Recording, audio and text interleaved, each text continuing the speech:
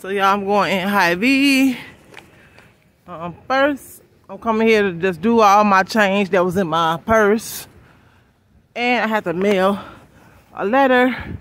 I don't like the mail at Hy-Vee. I like to go to the post office, but this letter had to be in this week and Hy-Vee is the closest um, mailbox right now.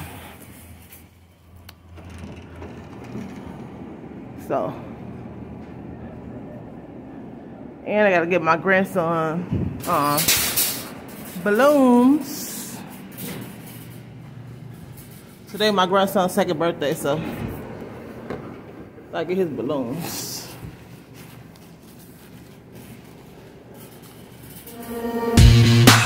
Okay, y'all.